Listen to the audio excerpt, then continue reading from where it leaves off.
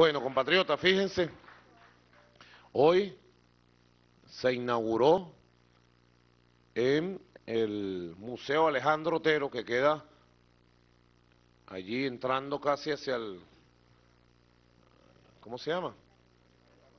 Hacia la Rinconada,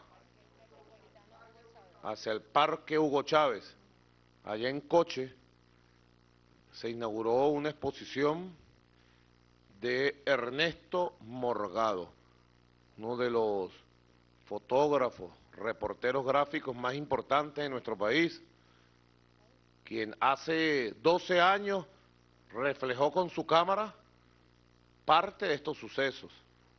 Él está con nosotros aquí, Ernesto Morgado, ha traído un conjunto de fotografías, yo las quiero mostrar. Hoy 12 de abril, hoy 12 de abril, y yo quisiera, mientras las muestro, recibir de Ernesto y Ernesto, Morgado y Villegas, Villegas y Morgado, recibir sus reflexiones.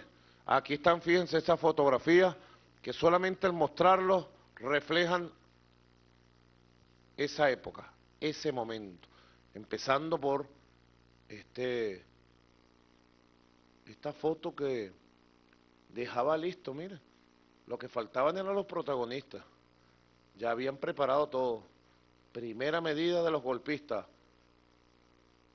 secuestrar a Bolívar, acabar con Bolívar, desaparecer a Bolívar. ¿Ah?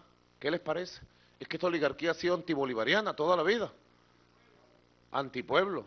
Bueno, Ernesto Morgado, ¿qué recuerdas tú de toda esta foto mientras yo las voy mostrando? Bien.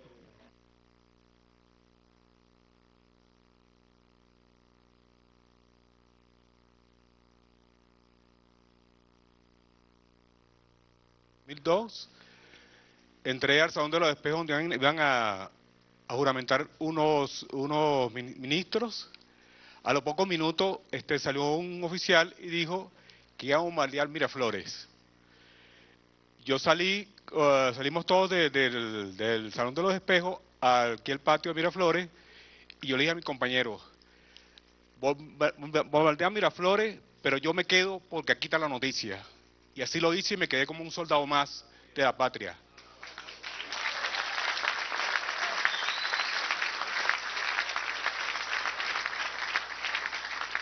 Un soldado con seis balas, que eran seis rollos. En aquella época no estaba la, no, no había la digital todavía. No, todavía no había. Seis rollos negativos. Mira esta foto que buena, ¿ves? Cuando llega el fiscal general. Esa foto tiene un, antecedente muy bueno. Abre la toma, no la no cierres tanto. Esa foto tiene un antecedente muy bueno. Cuando usted era presidente de la Asamblea, usted hizo una, una, un premio nacional de, de fotografía. Correcto. Y yo gané con esa foto perdí el premio. Para que tú veas, me gustó antes y me gustó ahora. Sí. Tengo el mismo gusto. bueno, Silvia dice, claro que sí, tengo el mismo gusto. Sí le dice, claro que sí. bueno, presidente, este, Luego, después de, que yo le dije a mi compañero que yo me quedaba así bombardeando a Miraflores, pues aquí están noticias, eh, nos bajaron aquí al Salón Ayacucho y fue cuando hice la la buena foto donde habían quitado el cuadro de Bolívar. Ah, imagínate. Después... va llegando el comandante, perdona que yo me adelante tanto, porque he ido pasando las fotos de acuerdo a lo que tú narras, pero aquí llega el comandante. Este es uno de los momentos más emocionantes que yo recuerdo. Sí, y para mí también cuando llegó el comandante y bajó ese helicóptero. Victorioso, Mire. milagro. Era ya domingo 14, domingo de resurrección. Presidente, para mí fue también grandioso y muy emocionante esa foto, porque me sentí muy emocionado con la llegada, la llegada del presidente eterno Hugo Chávez, que ya llegó, llegó este, de una forma ya que la gente lo esperaba con emoción, sano y salvo o que lo tenían secuestrado. Así es. Él, nunca, él nunca renunció. No, jamás. Jamás. aquí está la foto cuando el comandante se sienta aquí mismo. Estábamos sentados todos aquí en el salón y en ese momento él hace, digamos, un gesto de concentración para encontrarse consigo mismo. Ustedes saben que el comandante Chávez todo lo que hacía lo hacía inspirado. Cada, cada cosa Él decía, el día que uno pierda la inspiración y la pasión, ya no vale la pena vivir. Porque todo lo hacía con inspiración, con pasión. Ahí está el compañero William Lara, eterno camarada también. Y ya había aparecido Bolívar otra vez, miren Bolívar ahí, con su luz, con su aura. Y este que aparece aquí es Diosdado Cabello, mira. Todavía tenía cabello. Diosdado estaba flaquitico. Lo estaban buscando para matarlo a Diosdado. Y William Lara, miren. Chávez formó una generación de revolucionarios. Chávez supo formar instituciones, supo formar pueblo y supo formar cuadros revolucionarios, tanto para el ejercicio de la lucha política y el liderazgo como del liderazgo militar. Por eso es la Unión Cívico-Militar, que los pone a ellos a temblar.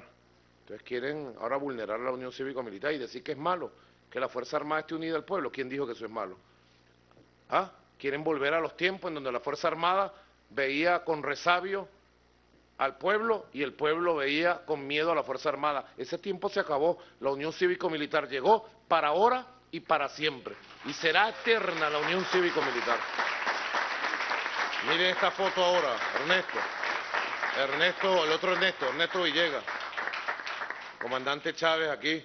Atrás aparece Flaquitica, María Cristina, y atrás Tarek William que venía saliendo de la cárcel. Mira, Tarek William relata al libro del embajador de Cuba en Venezuela, Germán Sánchez Otero. Tarek William le relata lo que fue su secuestro, dónde lo llevaron y todo. Realmente es muy característico, ¿verdad, Silvia? Ese relato. Nosotros estábamos en el mismo lugar enconchados que Tarek. Y Tarek, bueno, al final se fue a buscar a su familia el día 12 al mediodía. Y Tarek saliendo por un lado, lo detectó el grupo que lo seguía y a nosotros nos fueron a buscar al sitio que estábamos aquí en la avenida Panteón.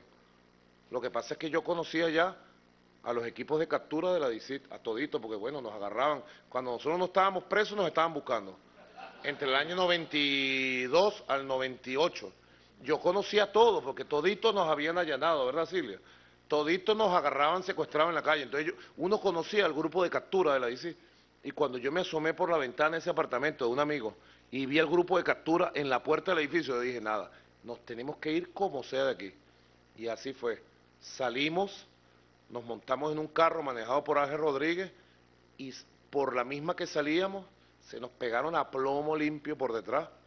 Afortunadamente Ángel Rodríguez es un irresponsable para manejar y pudimos escapar. Casi nos mata él. Y así pudimos nosotros en ese momento salvarnos de la captura. Salvarnos de la captura. Aquí está Ernesto Villegas, para que nos comentes también. Aquí está el comandante Chávez hablando por teléfono, no recuerdo con quién. No sé si alguien aquí recuerda. Eso fue unos momentos antes de su, de su alocución. Aquí está el comandante conversando también. Presidente, casualmente el presidente Chávez tiene en sus manos en ese momento un fax. El fax con la carta donde aclara que no ha renunciado ni renunciará jamás al poder que el pueblo le otorgó. Ahí está el comandante llegandito, pues era, eso era así, cuatro y media, cinco de la mañana, del 14 de abril, día de resurrección, domingo 14 de abril. Y el comandante Chávez llegó con el Cristo en sus manos, llamando de su espíritu cristiano al diálogo, a la paz. Pero bueno, la subestimación y la arrogancia de parte de la oligarquía que irrespeta a los pueblos. No, ellos se siguieron preparando para otro golpe, para otro golpe. Y la revolución siguió avanzando, ¿eh? con mucha sabiduría, con una correcta conducción del comandante Chávez. Siempre llamó al diálogo. Aquí en este salón, dos días después, el 16 de abril, se reunió bueno, el comandante Chávez con todos los golpistas. Y algunos se levantaron de la mesa y salieron a despotricar y después se levantaron otros. A la derecha le ha ido muy mal cada vez que ha tomado el camino del atajo. Terminaron siempre desprestigiados, aislados y divididos. Cada vez que tomaron el camino de la violencia. Le ha ido mejor cuando han tomado el camino de la Constitución. Ahí tienen sus diputados, sus gobernadores, sus alcaldes. Por eso yo le sigo haciendo un llamado a la derecha, a la oposición, que vengan al camino de la Constitución y la paz lealmente con el país, que reconozcan que nosotros, los bolivarianos, somos una fuerza mayoritaria, poderosa de la historia contemporánea de Venezuela y no nos pueden estar echando a un lado. No, vamos a reconocernos. Yo lo dije, vamos a conocernos y a reconocernos. Vamos a reconocernos. Es mejor para todos. ¿A quién le perjudica la paz de Venezuela? ¿A quién? Digan ustedes, ¿a alguien le puede perjudicar que Venezuela esté en paz? ¿A quién le puede perjudicar que en Venezuela la democracia siga su rumbo? ¿A quién? Ustedes saben demasiado, pues. Pero algún venezolano que ame nuestra patria le puede perjudicar que en Venezuela haya paz, convivencia, democracia, elecciones, respeto, ¿no, verdad? Así que yo llamo Ramón Guillermo Aveledo, eh, coordinador general de la MUD, de verdad, a mí me pareció que la reunión fue muy, pero muy buena. Yo le hago un llamado a usted, como coordinador de la MUD, y a ustedes, diputados, gobernadores de la MUD que asistieron, y a todos los partidos de la MUD, a que vayamos en un proceso de reconocimiento, de respeto, construyendo la convivencia, la coexistencia, y a que respeten al pueblo y la voluntad mayoritaria, que nosotros estamos listos y sabemos respetarlo a ustedes. Bienvenidos al debate, bienvenidos a la Constitución, sean leales con un pueblo que quiere paz. Camarada Ernesto Villegas Poljap. Presidente, el tocayo Ernesto Morgado era el único fotógrafo que estaba presente aquí en Miraflores cuando el regreso del comandante Chávez. Su fotografía le dio la vuelta al mundo, gracias a que, en ejercicio de su responsabilidad con la historia, él le entregó copia de esa fotografía a nuestra querida Teresita Maniglia y ella hizo que le diera la vuelta al mundo. Pero en el periódico para el cual él trabajaba, el diario El Nacional, hasta donde yo sé, nunca publicó esa fotografía, ni esa ni ninguna de las que usted tiene allí, salvo una, que es donde aparece Isaías Rodríguez celebrando su llegada, eh, como una supuesta prueba de la parcialidad del entonces fiscal general de la República. Pero esas paradojas que se dan, ¿no?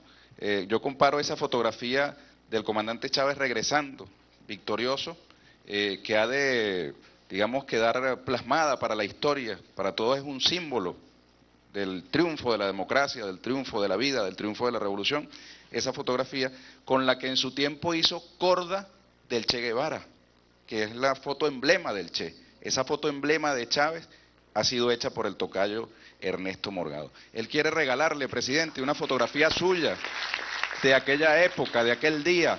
Él captó aquel Nicolás Maduro diputado acá en el Palacio Presidencial. es una ropa prestada porque la ropa que teníamos, teníamos varios días sin dormir y sin poder lavar la ropa, pues.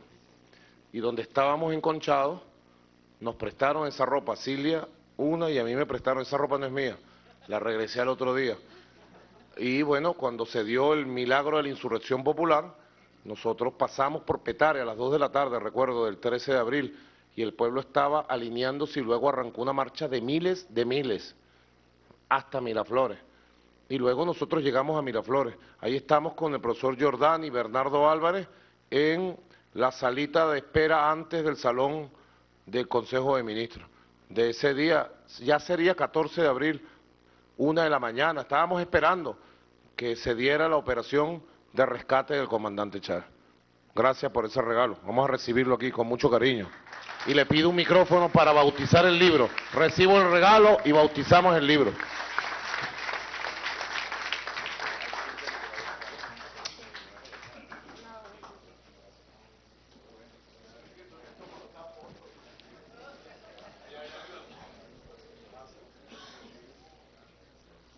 Parte de este regalo entonces que le hace el fotógrafo Ernesto Morgado al presidente de la República Bolivariana de Venezuela, Nicolás Maduro, acá en el Salón Ayacucho. estas fotografías mm, de los sucesos del 11, 12 y 13 de abril de 2002. El presidente de la República, en ese entonces diputado de la Asamblea Nacional, fue fotografiado entonces por este fotógrafo acá en el Palacio de Miraflores, ya cuando el comandante supremo Hugo Chávez regresaba acá al Palacio de Miraflores. Pero ya estábamos felices, estábamos ya felices porque ya José Vicente Rangel, vicepresidente ejecutivo de entonces, no, perdón, ministro de Defensa, había hablado con el comandante Chávez. Y ya sabíamos que los helicópteros se dirigían a la horchila a rescatarlo. Estábamos felices, ya sabíamos que el comandante en cuestión de una hora, dos horas, regresaba. Momentos de historia, realmente, gracias al milagro que es el pueblo de Venezuela. Permiso, vamos